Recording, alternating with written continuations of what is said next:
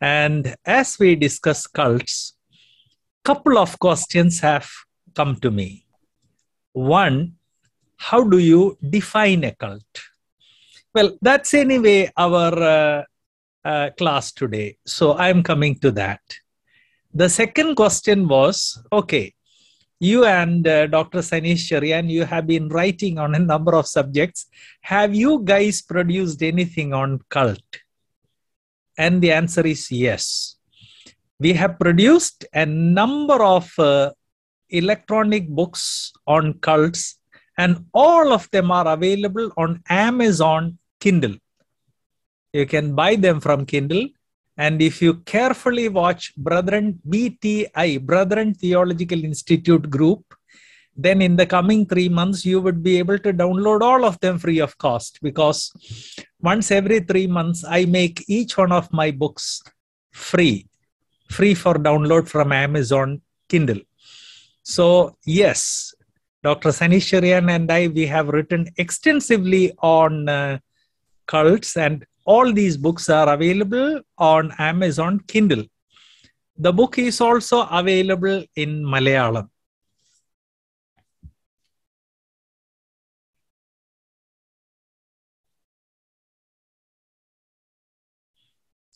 The Malayalis will note that I said it's our book, but it's not my name. We finished this book in 2000 and gave it to Brother C.V. Vadavana for publication.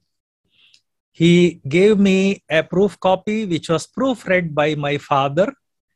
We gave it to Vadavana for publication, and he said there is some delay.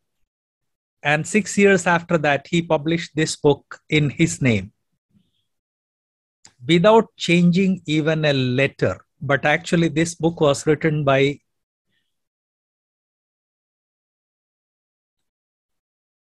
me and Dr. Sanish Cherian. You may say, Did I take any action? If I take action, India has very strict copyright laws. If I take action, he will be behind bars for seven years. India government is very strict in matters of copyright, but we decided not to take any action. I asked him to withdraw this book uh, because I was his biggest advisor on copyright laws and he stole my book. So when I asked him to withdraw, he promptly withdrew this book. So the book is not available, but copies which have gone into market, they have gone with his name, whereas the book was written by me and Dr. Sanish Cherian. And Lord willing, uh, um, this book will very soon it will become available as part of our handbook on uh, Christian apologetics. Christian apologetics in Malayalam is an 800 page hardbound book. It's out of print, but very soon it will be available, and we will be adding this book also into that. So, uh, the answer to your question have we written anything? Yes, we have written. Is it available? No, because somebody else appropriated our name. We put a stop to it, and uh, it the book will be coming in our name very soon. So resource material is available. And now the question is, what is a cult? First of all, the word cult is a misuse. It's a, it's a misnomer. A lot of Christians use the word cult in a wrong way. Many of us think that cult has a bad meaning. No. In fact, using the title cult for false cults is an error. The English word cult means people who follow a particular movement or a particular movement. A cult may be good, a cult may be bad. And therefore, when we are speaking about religious groups which are opposed to the Christian faith, we should always use the phrase false cults. I say this because this week a young brother from America mockingly wrote against me saying JCP says false cult. I know, uh, I, I mean, he, he, he questioned my usage of language. And I had to ask him to go and consult a dictionary because before he opened his mouth, there is a disease known as foot in the mouth disease. So before putting your foot into your mouth, I asked him to open the dictionary and he opened and uh, well, that's the current situation. If there is anybody here who thinks that I don't have to use the expression false cult, please remember the word cult only means a blind following. There are football cults. There are many other cults, cricket cults. And some of you who watch science fiction or who some of you who have heard about science fiction, I hope you know there is a Star War cult. There is a Star Trek cult. A cult only means following. We are not talking about cults. We don't have to do anything with Star War cult. We don't have anything to do with cricket cult. They may or may not be good. It's none of our concern. Our concern is those groups which claim to be Christian or which claim to teach biblical truth, but which are teaching falsehood and the correct terminology for them is false cults. And now the question is what is a false cult? A false cult is a religious group or any kind of movement that attacks or questions the major beliefs of the Christian faith. Please remember, we are not talking about all kinds of cults that are around us. No. We are talking only about false cults, and a false cult is a religious group or a religious movement which attacks or questions the major doctrines of the Christian faith. They also attack many of the minor subjects, but when they attack minor subjects, that is not a big very big danger. The danger comes when they attack major subjects related to the Christian faith. For example, the fact that 66 books of the Bible are the inspired word of God, they attack it. The fact that God is a trinity, God is a triune God, they attack it. The fact that Lord Jesus is God, sovereign God of the universe, they attack it. The fact that salvation is by grace through faith and faith alone, not works, they attack it. The fact that justification is by faith and faith alone, they attack it. The fact that baptism is a post salvation ritual, they attack it. They say baptism is an essential part of salvation. So, all those groups that attack fundamental doctrines and project themselves as the right Christian group come into or fall into the category of false cults. Well, you may say, brother, if they attack all these fundamental doctrines, then naturally nobody is going to believe them. Right. Exactly. What you said is right. If they attack these doctrines, nobody is going to believe them. And there lies the cunningness of false cults. Brothers and sisters, I'm sure all of you have taken one capsule or another in your life. Why do they give these to you in capsule form? Why not in powder form? Because inside the capsule it is a powder, not solid.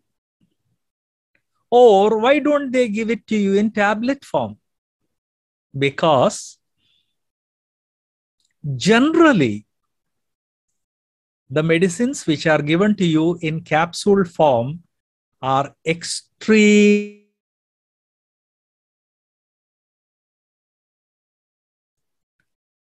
the usually the medicines which are given in capsule form are extremely bitter i know Believe me, I take a lot of medicines out of curiosity. Sometimes I open the capsule and put it on my tongue. It's extremely bitter. And to hide that bitter, if it is in tablet form, if you put it on your tongue and if it remains for a couple of seconds, that bitterness will make you bitter. And that's why it is put in capsule form so that you may not know the bitterness, the real taste, and so that you may swallow it. In the same way, when cults come attacking the Christian faith, they put all their doctrines in capsules, hiding the truth so that you may swallow the capsule and so that the capsule may work in your hearts first and divert you from the path. And by the time you discover that you have deviated, it's already too late to leave it. One of the standard techniques used by these cults is to produce extremely attractive books, extremely attractive. I still remember when I was in, in the USA in 1990 for a short visit. I was there for six months to study advanced counseling. And I still remember in Texas, a brother invited me for food. And as I reached that house in the evening, he said, Brother Johnson, uh, I'm sure you are a lover of books. Have you seen this encyclopedia? So I, I knew about that encyclopedia. I asked, So what about this encyclopedia? He said, Brother, it is so cheap, it is so attractive, and it contains essays on every subject. Thousands of essays on biblical subjects. I was stunned. Yes, it was cheap. If an average encyclopedia at that time was costing $500, this one was only 75 And paper was the best art paper. Printing, yes. In 1990, when offset was not as good as today, they had used some of the costliest offset printing machines to print that. So it was attractive, it was informative, it was cheap. But the brother did not know one thing it was also full of poison because it was printed by Jehovah Witnesses. The Jehovah Witnesses know that in modern times, children need to consult encyclopedias. This was before the days of internet. In 1990, internet was not available. Let me tell you, only what is known as BBS, bulletin board systems were available. Internet or what is correctly called WWW, World Wide Web, became available only one or two years after that. So World Wide Web was not available to children for research. They needed encyclopedias.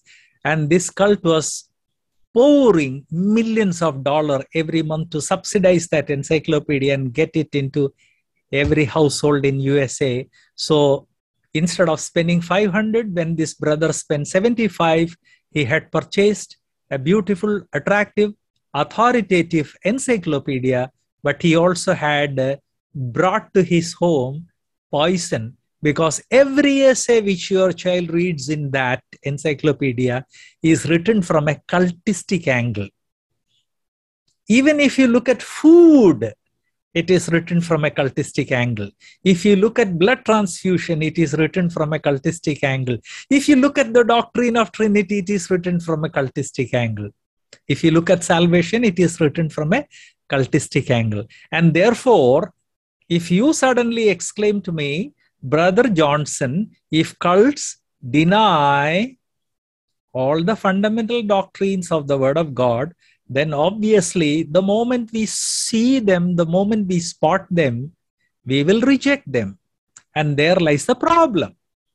They present themselves in such cunning manners that we are not able to spot them, they go deep into our heart, and by the time we understand that it is fatal, it's too late. Now, the guy who misappropriated my book and Dr. Sanish's book, he did not know about cults. He knew that we wrote the book and he can put his name on it because he has the manuscript. Look at the picture that he put. No, this is not the way a cultist comes to your home. If you are a young couple, they will send a very attractive young couple to your home so that you are instantly able to relate to them. So if you ask me, brother, we would be able to spot them, my answer is no, not at all.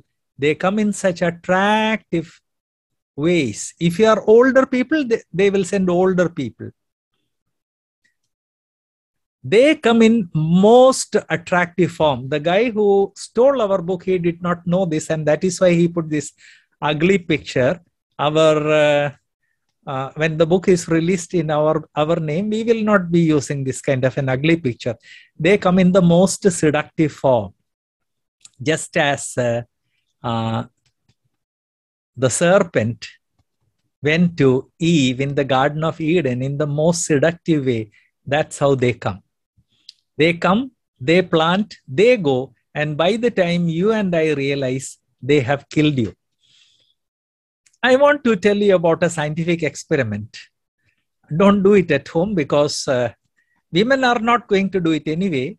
And men, if you do, and if your wife is sore with you, I am not responsible. Okay. Scientists have already done this. Take a frog. Frog is a cold blooded animal, and uh, its body temperature adjusts to the temperature of the surroundings.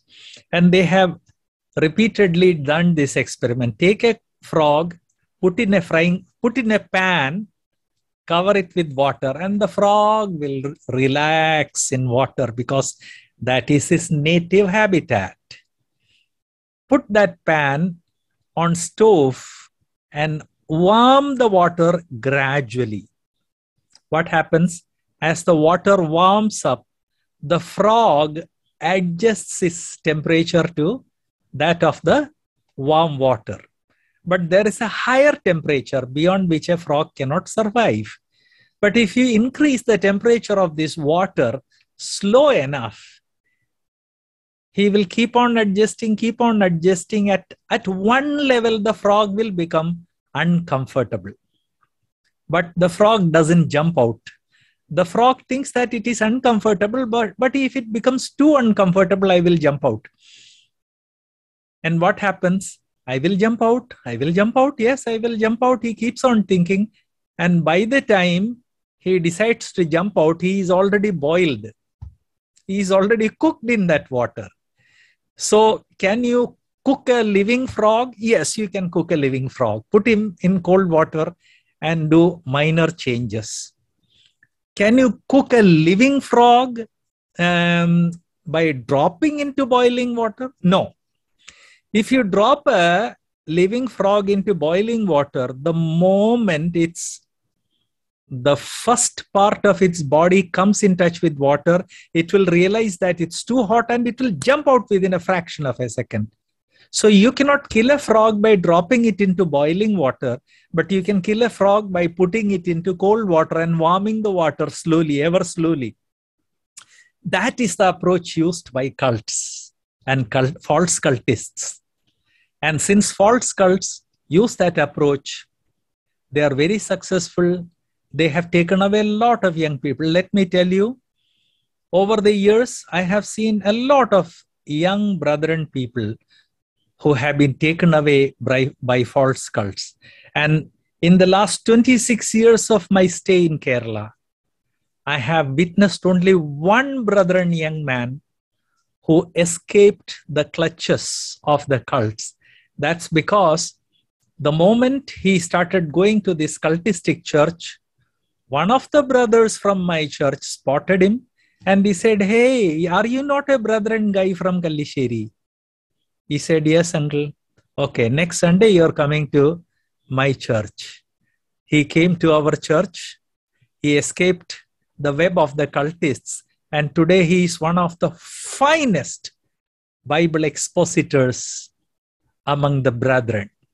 And also, he is the best expositor on the topic of hermeneutics, biblical hermeneutics. Except for him, I had never seen any brethren guy escaping the web because it is like boiling a frog in water. So please remember just because they deny the major doctrines, it doesn't mean that they come in this form. Ugly form. No. They come in the most attractive and seductive form and they completely camouflage their identity. And by the time you are trapped, you are in no position to leave them. Okay. Now, the question is why do they attack these fundamental doctrines? Please remember, they attack the fundamental doctrines not because there is anything wrong with those doctrines. No. Now, there is a natural, we may think, well, there may be some error in our understanding of a fundamental doctrine. Are they trying to correct it? No, no, not at all. They are completely, they deny fundamental doctrines. So they do not come with variation in fundamental doctrines. They do not come to reform any mistake, but rather they come to destroy the cardinal or fundamental doctrines of the Bible. Wow, you may say, why should they do it? Because their ultimate aim is to destroy the Christian faith and replace the Christian faith with their cult. They want to replace Christianity with their cult. They want to take over. In other words, in a very careful manner, they want to take over the Christian faith. But since taking over the Christian faith is not an easy job, because the Christian faith is now divided into a large number of groups, even if one or two, or even if 10 or 20 groups compromise, there will always be two or three groups, or 20 or 30 groups, which have not compromised, which still have believers who have a zeal to defend the scripture and defend their scriptural faith. So they cannot take over Christianity, and therefore the second best is to steal people from Christianity and take to their cult. And one of their standard aim, standard methods is confuse Christians. How do they confuse Christians? By giving very attractive and seductive literature. And I want to tell you, my brothers and sisters, I am a lover of books. I'm crazy for books. In fact, within three months after my marriage, my wife started proclaiming that I am wedded to books. Yes, I, am not wedded to the books, literally, but figuratively, I am wedded to books. I love books. And I read all kinds of books. And I, I assure you, that the books produced by cultists on any topic will always be the best. Always be the best. They use the best paper, they use best illustrations, and they use the most expensive printing presses in the world the rest of the world may not even hear about that latest kind of printing press which comes out of Germany. The cultists already have it. Even before that press could be released, that machine could be released, the cultist has already given advance. So, this way, they are seducing people with the help of books, best books, most attractive books. And by attracting people, they are brainwashing and stealing our people since they cannot replace, they, they cannot take over the Christian faith, they steal our people. Okay. But the question is should we uh, really worry so much as to have classes on false cults and that also which spans more than one class we are already into our second class and i have barely scratched the surface. Is it necessary to give so much attention to the cults? False cults i mean. Yes.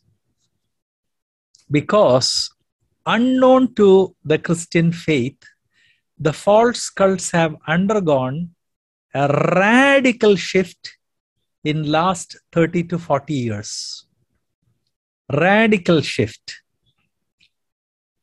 And they have been able to undergo so much shift and so much powerful because of a woman who worshipped satan.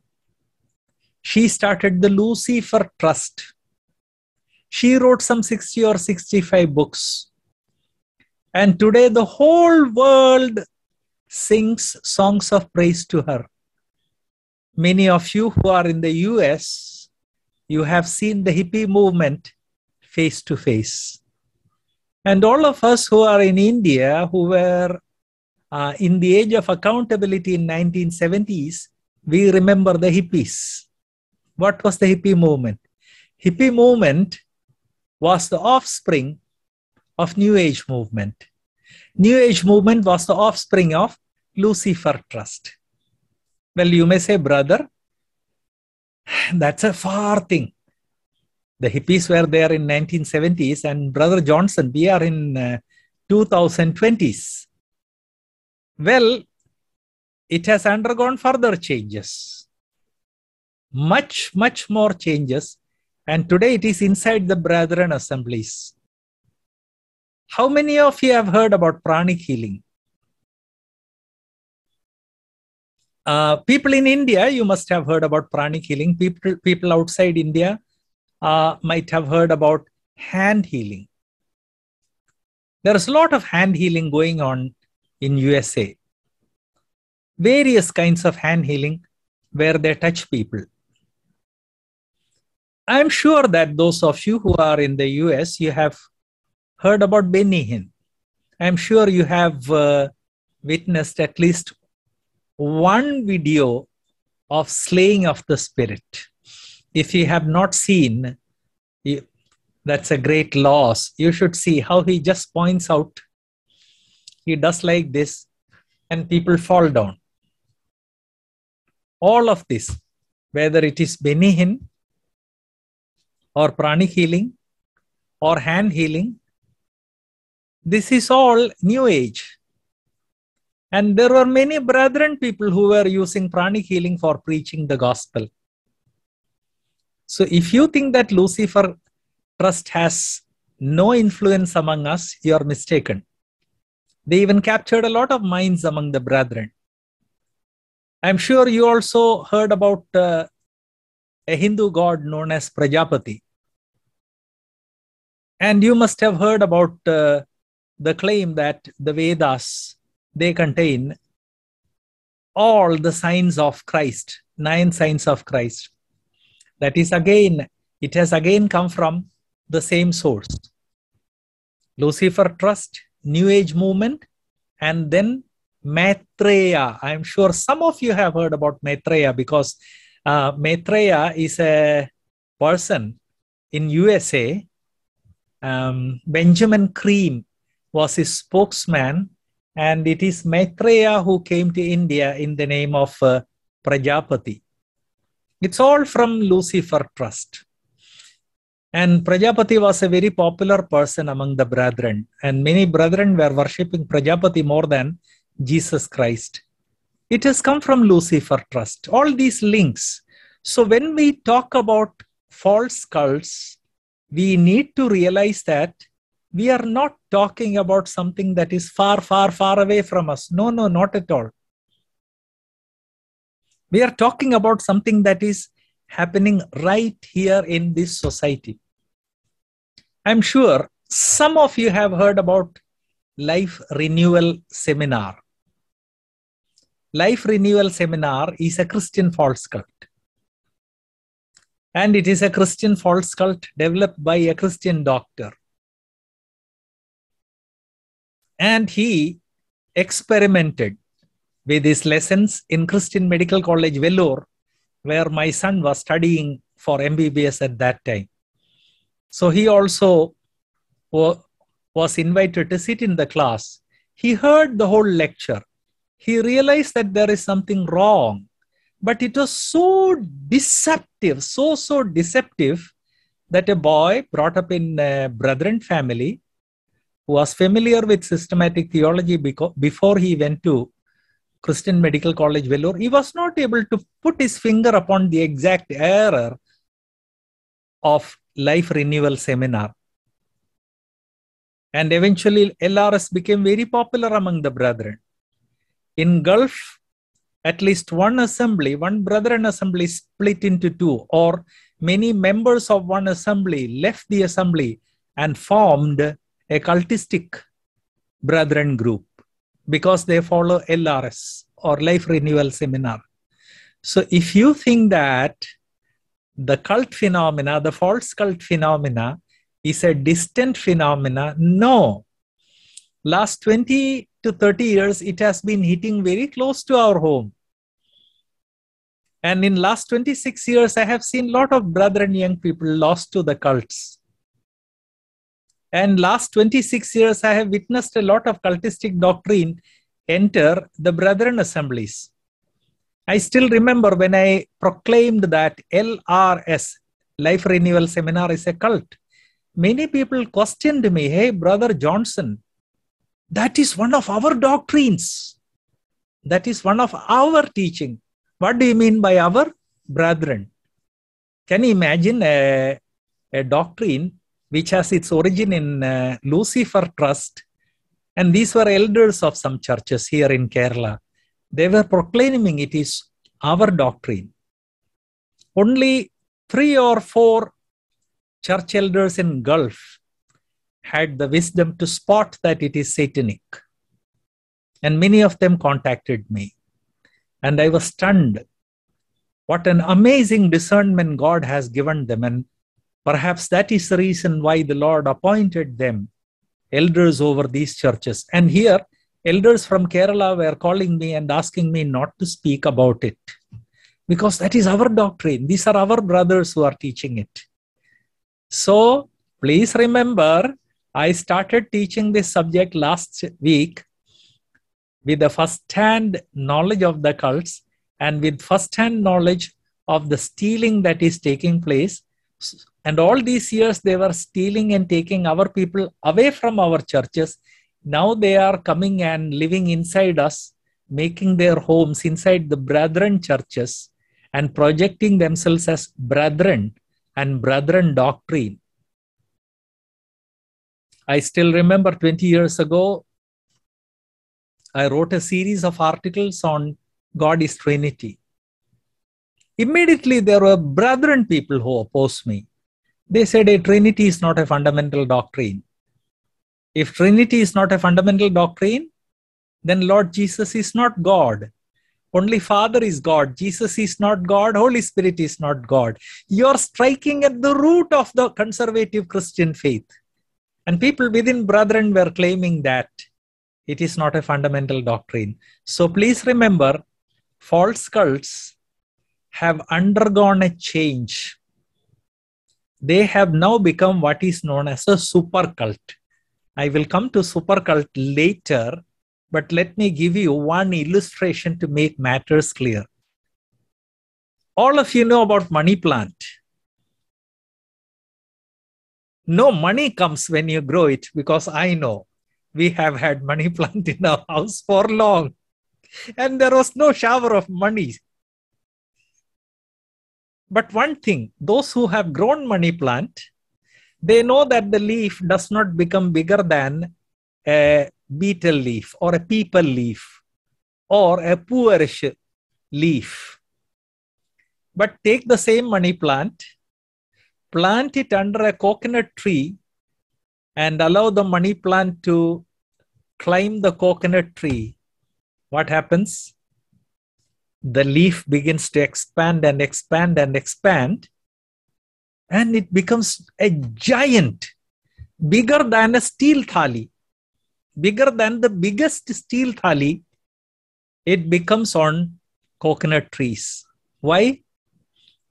It is sapping the juice of the coconut tree, depriving the coconut tree and growing by using the food made by the coconut tree.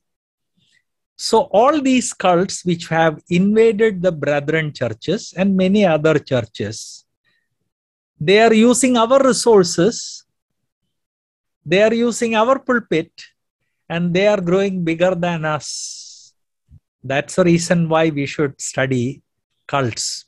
Okay. So, though cults were originally taking pe- people away, false cults, now they have entered our churches and using and sapping our resources, they are becoming bigger than us. That is why they are called super cult. I will come to super cult more later. Also, uh, the number of cults has become very diverse.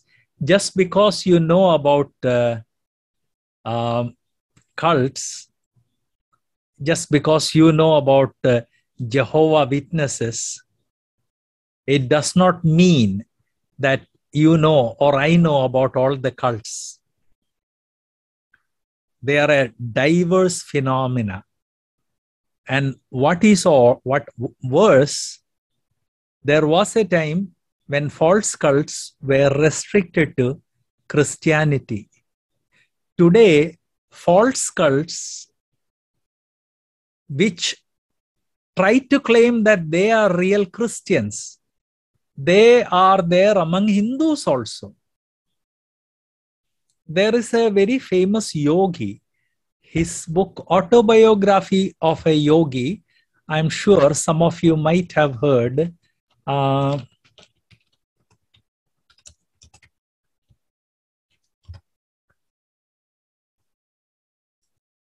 uh, i was just checking his name. Paramhansa yogananda. There is a sannyasi known as paramhansa yogananda. He has written some 10 volumes of Bible commentaries. And each volume is thicker than this. This is 800 pages. Each volume that Paramhansa Yogananda has written is thicker than this. Recently, I purchased his commentary on Matthew's Gospel. Two volumes like this. More than 800 pages each printed on the best of the best art paper and, and printed using the best offset machines. How much do you think I paid for it? If I buy a commercial book, two volumes, 1600 pages, full art paper, full color offset, the two volumes would cost a minimum of 10,000 rupees.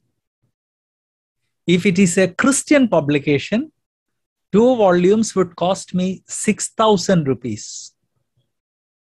Paramhansa Yogananda Matthew's commentary, two volumes, did it cost me 6,000? No. 1,000? No. 600? No. 400 rupees. That's because they wanted us to pay something maybe for postage. Paramhansa Yogananda has written at least 10 commentaries on the New Testament. So now that is another development with which we have to fight. A lot of non Christian religions are now projecting themselves as the true Christian religion. And Paramhansa Yogananda is projecting his commentaries as the right way of looking at the Bible. So the cultistic phenomena is no longer the old cultistic phenomena where we could dismiss it like this. Ah, I know about Jehovah Witnesses and Seventh day Adventists, and if they come home, ah, we will not give them any kind of entry to our homes. Ah, that is exactly what we have been saying for a long time. We won't give entry to our homes, and now they are working from our homes. Brothers and sisters, it is uh, high time that we all take this uh, phenomenon very seriously. I close the class here. Lord willing, we will go, uh, we will continue our introduction and uh, Lord willing, in the next class, we will go to cult classification.